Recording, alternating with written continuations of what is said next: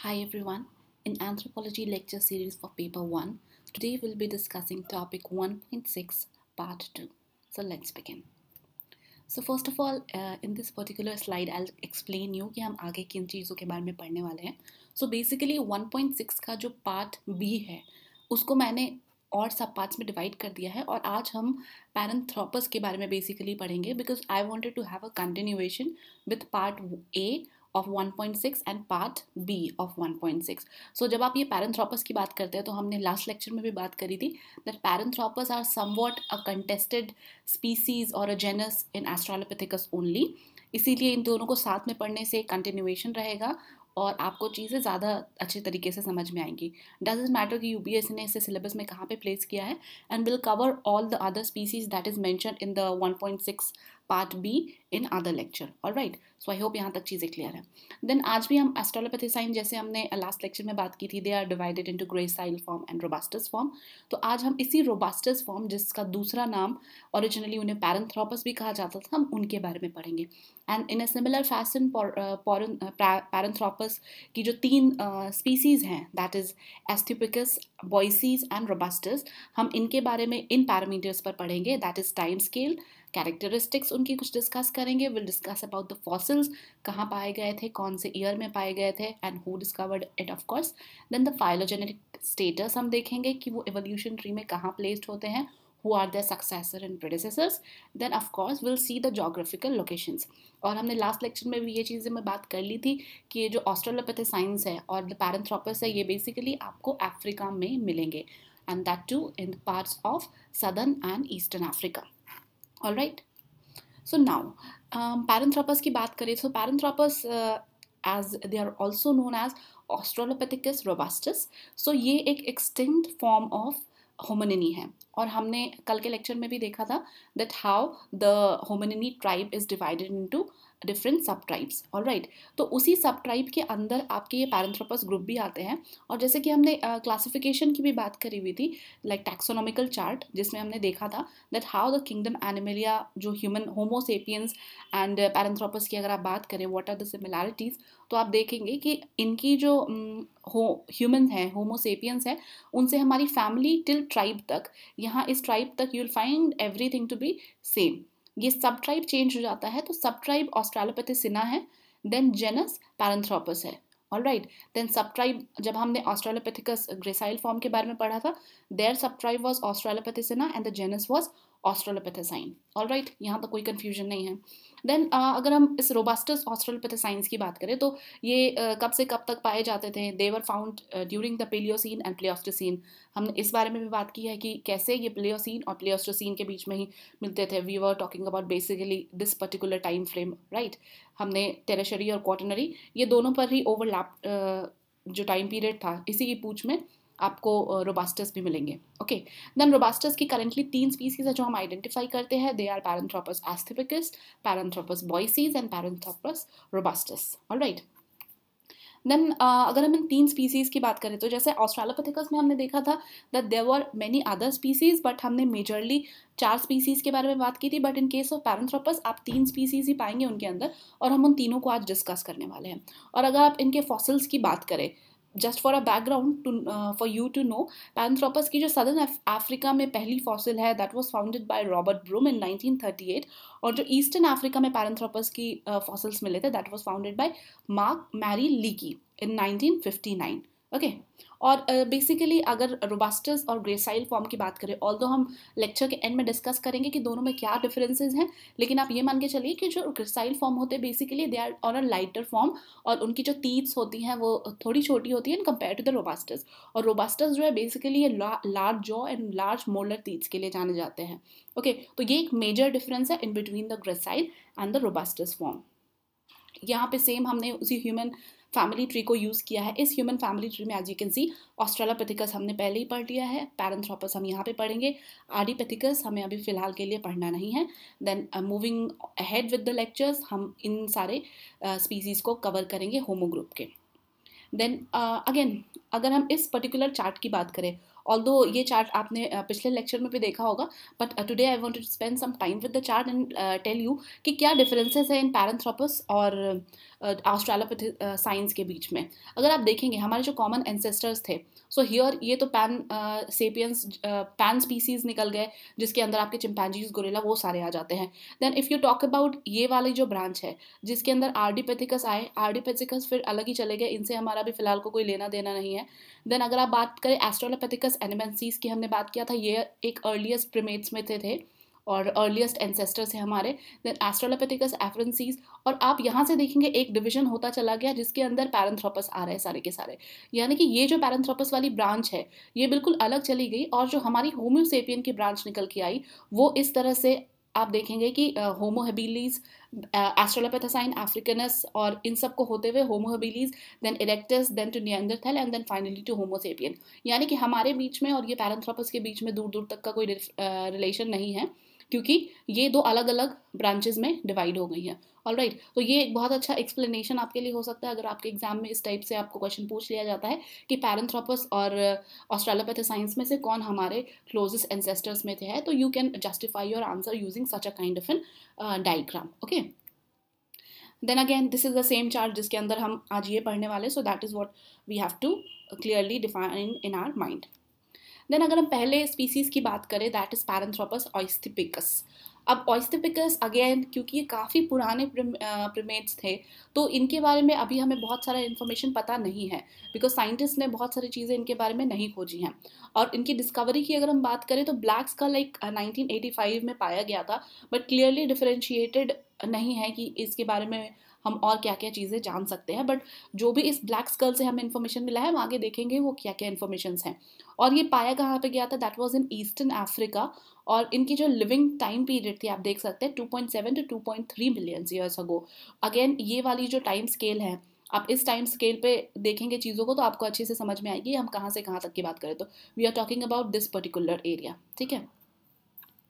Then characteristics की अगर हम बात करें तो aethiopicus have a strongly protruding face large megadont teeth and a powerful jaw तो ये बेसिकली आप हर रोबस्टस फॉर्म में आपको इस टाइप के सिमिलर कैरेक्टरिस्टिक्स मिलेंगे। That they have a large megadont teeth यानी कि उनके मोलर टीथ काफ़ी बड़े होते थे। They have a powerful jaw and protruding face भी होता था as you can see in this portrait also then they have a well developed sagittal crest और हमने ये भी बात करी थी ऑस्ट्रोलोपेथिकस में सेजिटल क्रस्ट प्रेजेंट नहीं होता है but in case of aethiopicus sagittal crest present होते हैं। And by this we can differentiate कि सेजिटल क्रस्ट है that means they might be having some tougher food जैसे ऑस्ट्रालोपेथिकस के केस में वो सॉफ्ट फ़ूड खा रहे थे mostly related to fruits and something but हो सकता है आइस्टोपिकस और अदर रोबास्टस फॉर्म्स और दूसरे तरीके के टफ फ़ूड च्यू कर रहे हो, जिसकी वजह से उनके पास सेजिटल क्रस्ट थे। And the shape and the large size of the teeth indicate a largely vegetarian diet of course बहुत बड़े बड़े टीथ है सो वेजिटेरियन डाइट रही होगी ज़्यादातर। देन फॉसिल डिस्कवरी की हम बात करें तो 1985 में इनकी फॉसिल को डिस्कवर किया गया था Alan Walker and Richard Leakey से। And that was known as black skull जो हमने पहले भी बात करी है। And it was located in the lake Turkana in Kenya तो ये आपके जोग्राफिकल लोकेशन जब आप पॉइंट आउट करेंगे, उस टाइम के आपको ये हेल्पफुल होगी। और अगर हम फाइलोजेनी की बात करें तो they are similar to Australopithecus afarensis and aethiopicus जो आपके Paranthropus aethiopicus may be a descendant of these species so basically Australopithecus afarensis पहले आए थे ऑइस्टोपिक पैरेंथ्रोपस ऑइस्टोपिकस के। That is why they can be known as the descendant of afarensis वो हमने tree uh, chart में भी देखा हुआ है इस चीज़ को। And it is mostly likely the ancestor of the robust australopithecine species found later in the eastern Africa that is Paranthropus boisei अभी पैरेंथ्रोपस बॉयसी कौन है हम आगे चल के देखेंगे डोंट वरी अबाउट दैट ठीक है? अब हम इसको चार्ट में देख लेते हैं क्लाडोग्राम में हम देख सकते हैं कि where is Paranthropus aethiopicus Paranthropus Australopithecus यहाँ पे है। All right right? तो आप इस चार्ट में आपको जो भी पैरेंथ्रोपस लोकेट करना है you can locate by this cladogram only then अगर हम इस क्लाडोग्राम में और भी डिफरेंट तरीके से देखना चाहे तो बेसिकली इसमें कोई डिफरेंस नहीं है। जो हमने ट्री वाला चार्ट देखा था, ये वही सेम चार्ट ही है। बट यहाँ पे जस्ट आपने अगर एग्जामिनेशन में आपको अपने आंसर को और भी बेटर बनाना हो तो आप क्लाडोग्राम प्रेजेंट किया गया है स्ट्रेट एंड ग्रीन तो ये आप मैंशन कर सकते हैं, क्योंकि एक दो साइंटिफिक कम्युनिटीज़ और उनके नाम अगर आप मैंशन करेंगे तो that helps you in reach your answer otherwise ये चार्ट कोई डिफरेंट नहीं है सेम ही है।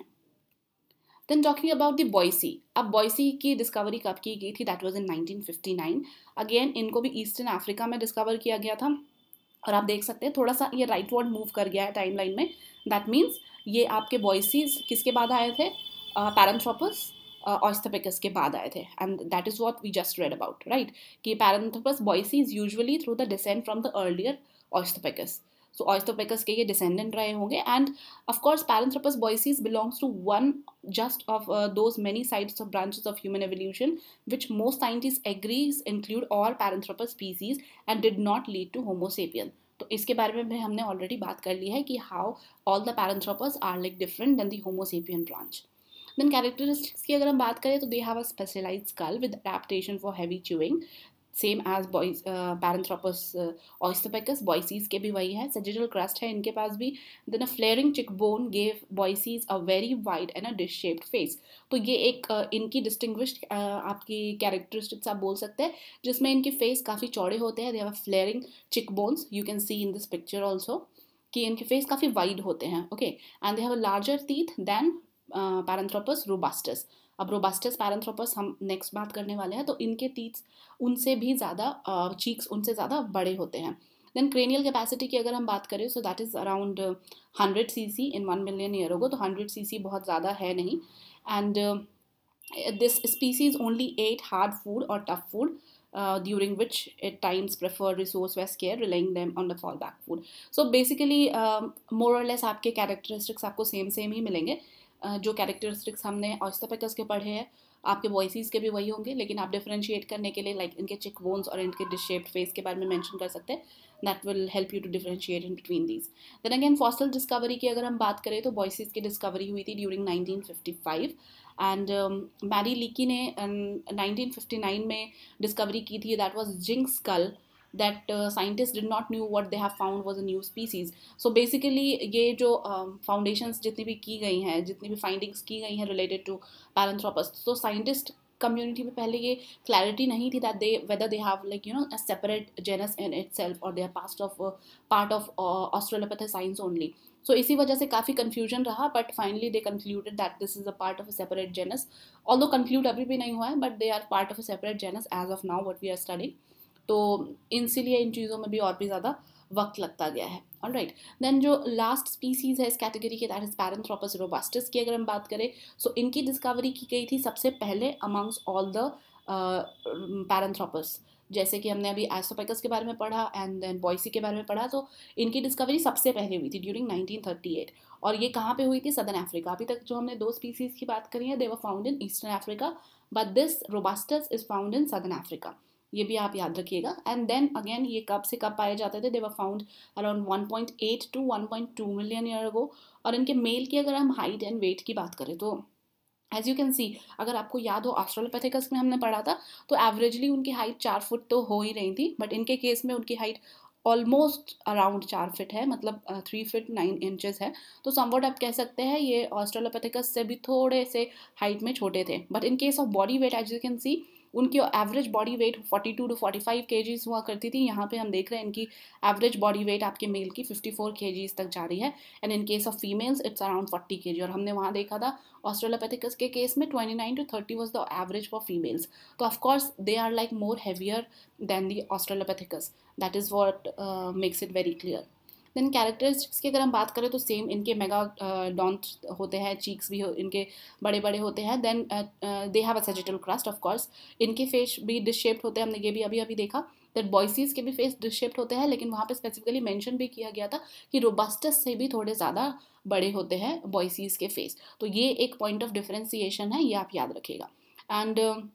robustus basically bones as tool use किया करते थे for termite mound although basically आपके इतनी सारी जो इन्फॉर्मेशन इनके बारे में अवेलेबल है, कोई ठोस सबूत नहीं है किसी चीज़ के बारे में, लेकिन या scientist with the help of other findings they have concluded कि हो सकता है शायद ये बोन्स यूज़ करते होंगे। ठीक है? और इसके पीछे भी बहुत सारी एनालिसिस की जाती हैं डेटिंग्स की जाती हैं टेक्निक्स लगाई जाती हैं, उनके बाद ही ये सारी चीज़ें निकल के आती हैं सामने। देन फॉसल डिस्कवरी की अगर हम बात करें 1938 में रॉबर्ट ब्रूम ने कुछ फ्रैगमेंट्स ऑफ़ जॉज और मोलर टीथ फाइंड किए थे और उनको ये जो सारी चीज़ें थी, पहले तक तो उनको ऑस्ट्रालोपेथिकस का ही ध्यान रहता था तो उनको ये सारी चीज़ें ऑस्ट्रालोपेथिकस Afreen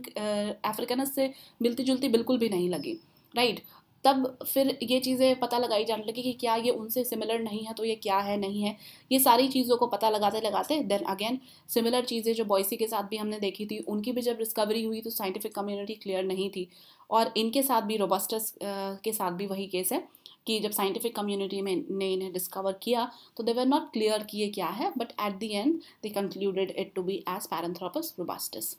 then again phylogenic status आप इनका देख सकते हैं। तो फाइलोजेनिक स्टेटस में आपको रोबस्टस यहाँ पे मिल जाएँगे। और राइट right? और ये पूरा का पूरा ये पैरेंथ्रोपस आपका कंप्लीट होता है। Boisei Australopithecus and robustus now talking about the characteristics of australopithecus uh, as a whole हम अगर इन तीनों स्पीसीज uh, को मिला के उनके कैरेक्टरिस्टिक्स को लिखना चाहते हैं that is also good but यहाँ पे I have included a consolidated one so that it becomes easier for you if you have to mention just about the Australopithecus robustus okay all तो बहुत ज़्यादा difference आपको देखने को नहीं मिलेगा। लाइक क्रेनियल फीचर जो है इनका well like apes only and they've flat forehead with a prominent brow ridges आपको याद होगा ऑस्ट्रालोपैथिकस के केस में they don't have a very prominent brow ridges like the human beings human being में तो आपको ब्रो रिजेस बिल्कुल ही नहीं मिलेंगे। But in case of Australopithecus भी थोड़े बहुत थे, उतने प्रोमिनेंट नहीं थे। But in case of Paranthropus you will find that they have a prominent brow ridge okay then spinal cord pass through the centre of the skull base indicating the species walked upright of course they were bipedal इतना तो हमें पता चल गया। Then body size की बात करें तो बॉडी साइज़ तीनों जो स्पीसीज़ है मोरलेस उनकी सिमिलर ही हैं। और हमने वो भी देख लिया कि इनके मोलर तीत बहुत ज़्यादा बड़े होते हैं in compare to the Australopithecus one and then Australopithecus Australopithecus जो है appear to have much larger than the other two यानी कि रोबास्टस और बॉयसी से आपके ऑस्टोपेकस थोड़े से ज़्यादा लार्जर होते हैं। And probably only slightly larger than the Australopithecus africanus हमने ये भी बात करी थी कि ये बहुत ज़्यादा बड़े नहीं हैं हैवियर होते हैं, लेकिन बहुत ज़्यादा लंबे नहीं होते हैं। और अगर आप बात करें ओवरऑल बॉडी साइज़ वेट की तो ऑस्ट्रालोपिकस अफ्रीकनस से ये थोड़े ही बड़े होते हैं। क्योंकि हमने ऑस्ट्रालोपैथिकस में पढ़ा था कि उन तीन स्पीसीज चारों स्पीसीज में आपके अफ्रीकनस थोड़े से लंबे चौड़े होते हैं उन स्पीसीज के मुकाबले। Then males are bigger than the females this is one of the point ठीक है? देन हम ब्रेन की अगर बात करें तो ब्रेन की जो क्रेनियल कैपेसिटी होती है ये आप याद रख सकते हैं। ऑस्टोपेकस की ब्रेन uh, की capacity cranial capacity is four twenty then boisei और पैरेंथ्रोपस की five twenty that means boisei and robustus way are like more in terms of intelligence level in then the Australopithecus ये हमको उनकी cranial capacity से पता चलता है। Then jaws and teeth की बात करें तो फ्रंट टीथ इंसीडर और केनाइन जो थे, वो स्मॉलर है in compare to the molar one यानी कि मोलर टीथ बड़े हैं, ना कि कैनाइन एंड इंसीजर्स ये बात का ध्यान रखिएगा। और जो पैरेंट्रोपस के जॉज हैं they are large and robust और अगर हम लिम्स और पेल्विस की बात करें then arms were longer compare to the legs and uh, or arms agar longer hai that means they were uh, tree climbers maybe and pelvis was similar to that of australopithecus as it was built for walking on two legs but without the refinement for the striding gait of the human being of course थोड़े बहुत तो differences होंगे ही otherwise they could have walked very easily uh, in a good posture like human being so वो differences इनको human being से differentiate करते हैं. Then they are fairly high level of sexual dimorphism at least of Paranthropus boisei sexual dimorphism show करते थे but बॉयसीज specifically show करते थे. Overall का हमें उतना ज़्यादा पता नहीं है. देन uh, हम जोग्राफिकल डिस्ट्रीब्यूशन पे आ जाते हैं. जोग्राफिकल डिस्ट्रीब्यूशन में हम देखेंगे कि सदर्न uh, अफ्रीका और ईस्टर्न अफ्रीका में पाए गए थे. हमने देखा पहले दो species was found in eastern Africa and the last one that was robustus was found in southern Africa that you can locate out in the map out here ये अफ्रीका का मैप है जिसपे आप लोकेट कर सकते हैं और if you remember हमने यही सेम मैप भी यूज़ किया था ऑस्ट्रेलोपैथिकस के लिए, ठीक है? और यहाँ पे ये मैंने दो साइड बाय साइड मैप्स लगा दिए where you can easily figure it out कि हमने पढ़ा अभी बॉयसीज के बारे में पढ़ा, हमने आइस्टोपेकस के बारे में पढ़ा and then we read about the robustus so ये साइड बाई साइड आप दोनों डायग्राम्स को देखे कंपेयर कर सकते हैं और एग्ज़ाम में जैसे भी आपसे पूछा जाता है you can draw any of these two diagrams depending upon what is asked और again this is the location of hominin fossil ये भी वही वाला चार्ट है जो हमने लास्ट क्लास में भी यूज़ किया हुआ है। यहाँ पे आपको एरिया वाइज डिविजन किया गया है एंड दैट टू टाइम के अकॉर्डिंग भी डिवाइड किया गया है। तो ये एक अच्छा चार्ट है समझने के लिए if you have time you can pause and you can see और इधर आप नोट्स में भी रेफर कर सकते हैं इसे देन uh, जितनी भी चीज़ें हमने यहाँ पे अभी पढ़ी हैं उसकी अगर आप समराइज करके देख ले कि कौन सी फॉसिल कहाँ पे पाई गई थी that is what written out in this chart for just for the quick recap of it ठीक है? तो मैं इस पर भी थोड़ा टाइम नहीं लगाऊँगी you can see it of your own अब हम आ जाते हैं ऑस्ट्रेलिया ग्रेसाइल और रोबास्टर्स के बीच में क्या क्या डिफरेंसेस हैं? क्योंकि अक्सर आपसे हो सकता है ये पूछ लिया जाए कि ग्रेसाइल और रोबास्टस के बीच में क्या क्या चीज़ें हैं जो उनको डिफ्रेंशिएट करती हैं एक दूसरे से। तो अगर सबसे पहले हम ग्रेसाइल की बात करें तो एज यू नो कि ग्रेसाइल की जो बॉडी बिल्ट होती है, वो थोड़ी सी लाइटर होती हैं in compare to the robustus one specially जो उनकी टीथ और स्कल होती है, वो रोबस्टस से थोड़ी ज़्यादा मतलब ऑन द लाइटर साइड होती है। और अगर आप रोबस्टस की बात करें तो they have of course the molar teeth उनके बहुत बड़े होते हैं। That is one of the thing उनके जॉज बड़े होते हैं। तो this is what that differentiate them with the gracile form then अगर हम स्पीसीज़ की बात करें तो स्पीसीज़ में हमने देख लिया था एनिमेंसीज हमने पढ़ा था एफ्रेंसीज पढ़ा था अफ्रीकनस पढ़ा था गैरी पढ़ा था। कहीं कहीं पर आप सिडेबा को भी उसमें इंक्लूड करता हुआ देखेंगे ऑल दो दैट इज़ द कैटेगरी हमने देखा था कि उसके छः सात कैटेगरीज आ रही थी। बट बेसिकली हमने चारों को अभी तक पढ़ा हुआ है। देन रोबास्टस की अगर आप बात करें रोबास्टस में आपके तीन ही स्पीसीज आते हैं, जिनको अभी अभी अभी हमने कवर कर लिया है सारा का सारा। देन ग्रेसाइल की जो अगर आप टाइम स्केल पे बात करें तो फोर मिलियन ईयर्स अगो से टू मिलियन ईयर अगो के बीच बीच में वो पाए जाते थे। एंड देन रोबास्टस की अगर हम बात करें तो four to one million years ago ठीक है? तो ये इनके टाइम स्केल पे आप वो भी डिफ्रेंशिएट करके दिखा सकते हैं। फेशियल मॉर्फोलॉजी की अगर हम बात करें तो ग्रेसाइल की जो प्रोग्नाथिज्म होती है, यानी कि उनके फेस का जो शेप होता है, वो थोड़ा सा बाहर की तरफ़ निकला हुआ होता है। But in case of robustus की अगर आप बात करें तो उनकी जो ब्रो रिजेस होती हैं, वो काफ़ी प्रोमिनेंट होती हैं। And they have a projecting face उनकी जो फ्लैट चिकबोन्स होती हैं लार्ज जॉज होते हैं these are the things that makes them different with the gracile form cranial morphology की बात करें तो क्रेनियल में हमने साफ़ साफ़ पढ़ा था सैजिटल क्रस्ट नहीं होता है ग्रेसाइल में रोबास्टिस में सैजिटल क्रस्ट बहुत ही प्रोमिनेंटली प्रेजेंट होता है। डाइट की बात करें तो डाइट में भी उनके ग्रेसाइल फॉर्म में ज़्यादातर वो फ्रूट्स खाते थे but in case of robustus हो सकता है, ये फ्रूट्स के अलावा भी और भी दूसरी टफ चीज़ों को खाते हो। दे कैन मे बी हार्वीवोरस और ओमनीवोरस डिपेंडिंग अपॉन कि वो किस जगह पे उनको क्या क्या अवेलेबल हो रहा था। लेकिन जो खाने की क्वालिटी थी वो हो सकता है ज़्यादा टफर होगी फॉर रोबास्टस ठीक है? देन uh, जो ग्रेसाइल है उनकी डाइट जनरलाइज uh, थी and they could have adapted quickly but robustus के केस में वो इतने क्विकली अडेप्टेड नहीं थे। और ग्रेसाइल सेक्सुअल डाइमॉर्फिज्म उनके कम थे in case of gracile form but in case of robustus they showed a consider amount of sexual dimorphism ठीक है?